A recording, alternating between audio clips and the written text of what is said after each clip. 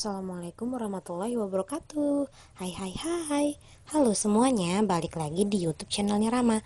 Di video kali ini Rahma udah buat make up dengan looknya seperti ini. Jadi buat kalian yang penasaran, ayo kita mulai aja. Pertama-tama aku pakai base make up dari makeover. Di sini aku pakai yang warna ungu. Terus aku titik-titikin gitu ke wajah agak kebanyakan sih sebenarnya ya. Tapi udahlah mungkin karena terlalu bersemangat. Habis itu diratain aja ke seluruh wajah sampai rata. Habis itu aku menggunakan foundation dari Wardah. Habis itu aku aplikasiin banyak benar habis itunya ya. Pokoknya aku aplikasiin pakai kuas gitu. Sampai rata intinya itu biar rata dan nantinya kalau sudah rata bakal aku pakai spons. Gitu. Dan ini akan memakan waktu yang lama. Sampai begel deh. Hmm. oh ya tahu nggak sih? Tadi aku udah ngedit semuanya. Udah selesai tapi tiba-tiba belum ke save sedih sekali. Tapi nggak apa-apa aku akan bersemangat demi kalian. Ini aku pakai pensil alis dari Viva yang warna hitam. Cara makainya aku garis dulu dari bawah terus garis di atasnya. Begitupun yang sebelahnya bawahnya dulu atasnya dulu. Setelah selesai kedua-duanya baru aku ambil eyeshadow Mirabella. Itu warna yang kayak abu-abu atau hitam atau apa pun itulah namanya. Baru aku isi dalamnya begitu. Isi isi isi isi isi isi. Habis itu aku sikat sikat sikat sikat rambutnya. Biar nggak kusut Habis itu aku pakai foundation dari makeover itu untuk merapikan si bentuk alisnya itu. Jadi kayak concealer, tapi aku pakai foundation. Begitu. Dirapihin lah bentuk alis itu. Setelah bentuk alis itu rapi, aku apa ya? Tarik-tarik-tarik apa di kelopak mata bawah. Aduh ribet banget sih ngomongnya. Pokoknya di bawah alis itu setelah itu aku pakai untuk menutupi kantung mata aku karena yang suka begadang ini ya. Terus aku taruh di hidung biar agak mancung gitu biar cahaya.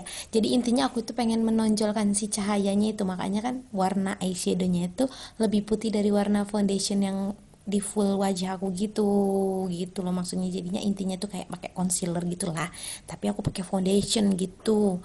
Nah setelah aku sudah pakai semua di yang eh, tempat-tempat uh, yang aku inginkan. Lalu aku puk puk puk pakai uh, spons. Tapi ingat puk puk puknya jangan beleber ke mana-mana gitu. Jadi warnanya ntar nyatu juga ujung-ujungnya. Pokoknya di bagian situ aja gitu loh. Nah terus itu pakai translucent powder biar um, biar taruh di bawah mata itu maksudnya biar si foundationnya itu nggak jadi crack gitu loh. Gitulah pokoknya. Nah habis itu aku pakai eyeshadow. Aku pakai eyeshadow dari Wardah aku ambil yang warna coklat tua gitu. Habis itu aku pakai yang dari Ines aku ambil yang warna hitam. Itu di bagian ujungnya aku taruh di bagian ujung banget gitu kayak seperti di, di video inilah. Lihat ya Nah, habis itu oh ya, jangan lupa di bawah mata juga gitu. Jadi uh, dia tuh menyatu matanya gitu. Jadi ya cantik gitu, bagus gitu maksudnya, ya kan? Setelah itu di blend. Nah, gunanya itu ya biar rapi lah gitu juga tahu, pasti tahu kan. Setelah selesai uh, si Wardah dan si Ines tadi, aku beralih ke LT Pro. Aku ambil yang warna pink muda. Oh ya maaf, maaf. Tadi sebelumnya udah aku kasih makeover lagi tuh mata kelopak mata bagian depan. Itu gunanya biar nempel aja gitu, maksudnya warnanya biar lebih kelihatan gitu. Nah setelah pakai yang pink muda, aku pakai pink tua. Jadi muda dan tua dicampur, jadinya kan bagus. Yang penting akur ya kan dan jangan lupa di blend kembali.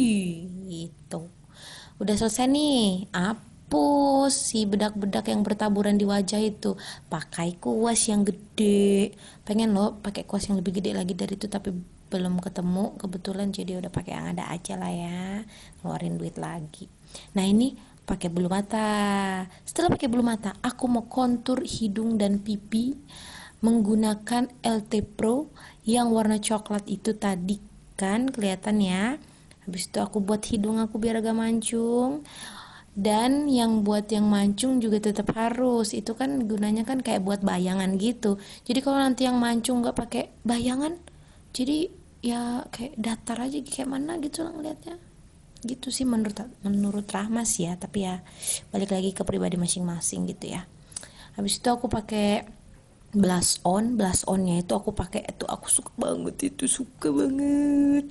Aku pakai dari Shopee Paris dan udah mau habis ya. Hmm.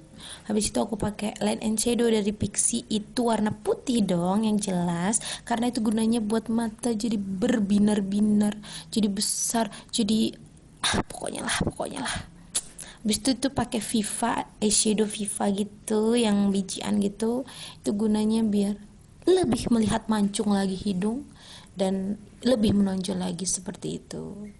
Jangan lupa di mata juga biar mata terlihat berbinar-binar ya berbinar-binar. Terus ngomongnya nggak ada bahasa lain apa ya? Nah habis itu aku pakai eyeshadow eh kok eyeshadow? Itu dari LT Pro. Aku ambil yang warna putih biar lebih mempertegas biar lebih terang lagi bawah matanya. Dan terakhir adalah lipstick dari long lasting warna pinknya cakep Nah, baru pakai aksesoris. Ini dia hasilnya. Teng teng teng. Gimana menurut kalian? Mudah-mudahan kalian suka ya dengan video ini. Uh, tapi setidaknya aku seneng banget deh sudah ada uh, yang subscribe aku lumayan banyak menurut aku ya. Walaupun menurut orang lain mungkin sedikit sih tapi aku senang banget paling tidak ada kalian yang subscribe aku yang menunggu aku untuk membuat video selanjutnya. Terima kasih jangan lupa like ya teman-teman semua. Dan subscribe tentunya biar aku semangat lagi buat videonya. Terima kasih wassalamualaikum warahmatullahi wabarakatuh. Bye